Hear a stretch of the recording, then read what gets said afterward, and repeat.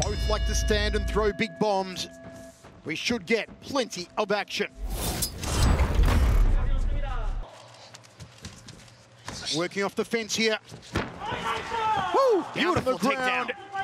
Tough position. You can see the color in Ma Jiawen's face start to change right there. So Yoon Chang Min's got a good squeeze. Yeah, but great job by Muhammad Salam, and he was able to keep keep an eye on, That's on Ma tight, Jiawen's Rich. eyes. This one's tight. He's underneath that chin. Oh, this could be over. It is over. What a first round finish for Yoon. My word, Dragon.